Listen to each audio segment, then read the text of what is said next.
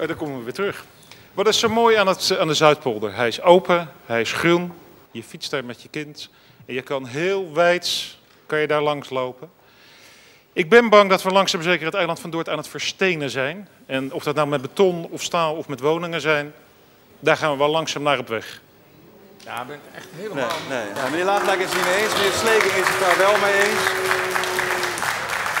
Ja, wat, wat, wat blijkt uit Heel het kort antwoord van, eh, van, van Jan Lagendijk is dat de Partij van de Arbeid toch een beetje het contact met de bevolking is kwijtgeraakt.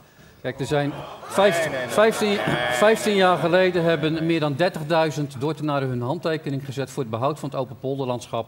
En toen is er ook duidelijk een afspraak gemaakt, die- want we gaan ons richten op de Stadsverven en de, de locatie Smitsweg. Nou, voordat er nog maar één huis op, op de locatie Stadsverven gebouwd is, wil de Partij van de Arbeid toch alweer Nee, verder dus- gaan met de ik- volgende dat is niet- locatie. dat vind ik En trekt zich helemaal niks aan van Nee. wat de Dordtenaren hierover eh, Ja, denken. dat is een En dat is een trieste ontwikkeling van de Partij van de Arbeid. Het is heel moeilijk om... eh, Ja. Ik wil er nog één, één reactie op gaat u in één zin en dan stoppen we er echt mee. Ja. De, de 15 jaar geleden is er een uitgebreide discussie geweest en toen is gezegd... de Wieldrechtse Zeedijk is de absolute bebouwingsgrens in deze stad. Dat maken wij nu waar door aan de andere kant van de Wieldrechtse Zeedijk... eh, te investeren in groenontwikkeling en natuur. En dat betekent dat je daar aan de voorkant best nog wat kan doen. En dat is wat wij nu willen en dat willen we uiterst gecontroleerd. En dat, is, dat komt uiteindelijk de stad ten goede. Oké, nou we gaan daarmee... eh, Heeft u allebei uw applaus gehad? Eh, nou, als u zeg maar uw stem af laat hangen van de Zuidpolen, dan is het inderdaad duidelijk. Dan is het al zwart of wit. We gaan over naar de volgende discussie en ook naar de volgende twee partijen. Dat zijn de VVD en GroenLinks. We gaan even kijken naar wat standpunten van deze partijen. Dank u wel, heren. GroenLinks eh, heeft zin in de toekomst. Dat kunt u eh, zien op onze affiches. Eh, dat betekent dat wij in het nu ons in zullen zetten naar de toekomst. Dus veel aandacht zullen hebben voor milieu en duurzaamheid. Daarnaast willen we ook een bruisende en levendige stad. Eh, cultuur zullen we veel op willen inzetten. En vooral ook de diversiteit aan aanbod in de stad eh, bevorderen. Ehm, de economie in onze stad moet ook een, eh, ja, een impuls krijgen. De crisis heeft daar natuurlijk flink ingegrepen.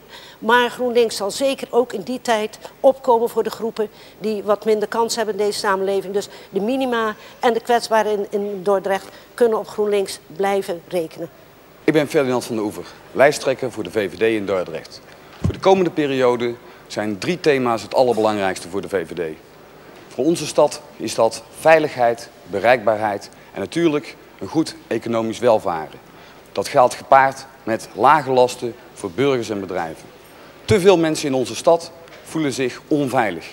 Daar zullen we iets aan moeten doen. Als het niet kan met extra politie-inzet, dan met stadswachten en extra cameratoezicht. En vandalen gaan betalen. We zijn de vernielingen in de stad meer dan zat. Als het gaat over de economie, van belang is dat mensen aan het werk komen. Werk is de belangrijkste motivatie om mensen te blijven motiveren en zichzelf verder tot ontplooiing te brengen. Aan bereikbaarheid hebben we de afgelopen periode hard gewerkt. Maar de bereikbaarheid van onze stad en zeker van de wijken blijft onder druk staan. Daarin zullen we Ja, aangeschoven zijn Meri Ruis voor GroenLinks en Ferdinand van de Oever van de VVD. Welkom. Applaus. Ja hoor.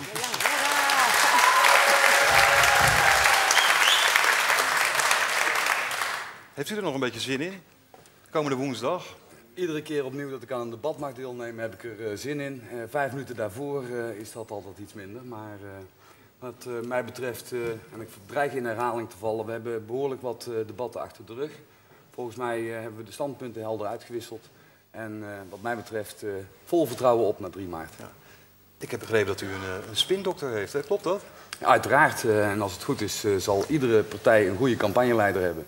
En eh, over de mijne ben ik zeer tevreden mee. Nou, is dat genoteerd. Heeft u ook een spindokter? Geen spindokter. Nee. Nee? Wat heeft u dan? Een kaarsje of zo ergens? Of? Nee, een fantastisch aantal men- aantal mensen omheen die meedenken hoe we het gaan doen en zo. Dus En hoe gaat dat dan? Want dan zit u zo in- aan die keukentafel of hoe gaat dat? Ja, dat kan een keukentafel zijn. Dat kan ook wel ergens op een andere plek Ja? zijn. Dat we met elkaar ideeën ontwikkelen en zeggen, nou, hoe gaan we dat nou eens aanpakken? En dan, dat is al heel enthousiasmerend en heel prettig. Ja, en ook over ondernemen hebben u beide ideeën. Eh, leegstand in de stad, de binnenstad weer een beetje bruisend krijgen. Dat moet toch wel. En de, ja, de mensen, dat de mensen niet naar Breda of Rotterdam trekken, maar juist weer naar die binnenstad toe, dat is belangrijk. Ehm, ja, economische crisis is er natuurlijk. Voor veel mensen wordt dat misschien wat onduidelijk door die econo- economische crisis. Hoe is het nou met die, met die binnenstad in Dordrecht? Daar gaan we even naar kijken. Het is crisis in Dordrecht. Nederland, Europa en de hele wereld. Daardoor hebben ondernemers het zwaar en kunnen sommige winkels de deuren niet open houden. De leegstand neemt toe, zowel bij kleine als grote panden en de werkloosheidscijfers stijgen. Toch lijkt nu de zogenoemde markt aan te trekken. Een klein beetje licht aan het einde van de tunnel dus. Maar nu, vlak voor de verkiezingen, is de vraag: wat kan de lokale politiek doen voor de ondernemers en werklozen in Dordrecht? Dat is een duidelijke vraag. Nou, beantwoord u hem maar even. Eh, stevig in blijven zetten op een beter vestigingsklimaat en een beter ondernemersklimaat. Dat hebben we de afgelopen periode gedaan en dat heeft ook daadwerkelijk tot resultaten geleid. De afgelopen periode 1600 nieuwe bedrijven in Dordrecht, 5000 extra arbeidsplaatsen. Daar zullen we krachtig op in moeten zetten. Tevens blijven investeren in het Want u heeft het over, ondernemersklimaat. over, over vestigingsklimaat. Wat is dat in normale mensentaal? Nou ja, je hebt twee, eh, eh, twee mechanismen waar je op kunt sturen. Eén, hoe zorg je ervoor dat je aantrekkelijk blijft voor nieuwe bedrijven, zodat nieuwe bedrijven naar de stad toe komen. En dat is de afgelopen periode goed gelukt. Denk aan alle bouwkranen bij Amstelwijk met grote nieuwe bedrijven, maar ook op Dordtskill 3. Dat is belangrijk, daar moeten we blijvend aan, eh, aan werken. En twee is het ondernemersklimaat, en dat gaat er veel meer over. Hoe zorg je dat je eigen ondernemers in je eigen stad optimaal kunnen functioneren? En hoe gaat de VVD daarvoor zorgen? Dat de mensen denken, ik wil hier nooit meer weg. Ik ga hier nog een derde winkel openen. Wij doen dat eh, op tal van manieren. We zijn eh, begonnen met te zorgen dat er een goed ondernemersloket is. Eén loket waar iedere ondernemer één aanspreekpunt heeft. Gekoppeld aan bedrijfsbezoek om steeds opnieuw uit te vissen wat, wat gaat er eventueel niet goed. Waar lopen mensen tegenaan? Kunnen wij ten behoeve van het ondernemersklimaat meer regels eh, afschaffen, meer deregulering toepassen? We hebben dat ingezet de vorige periode, maar dat is nog volstrekt onvoldoende. Daar zullen we nog een aantal slagen op moeten maken. En tevens eh, randvoorwaardelijk eh, moet je blijven werken. Belangrijk is dat we de N3 A16 nu niet alleen op de agenda hebben staan, maar daadwerkelijk gaan, gaan uitvoeren. Die bereikbaarheid voor die bedrijven is van cruciaal belang.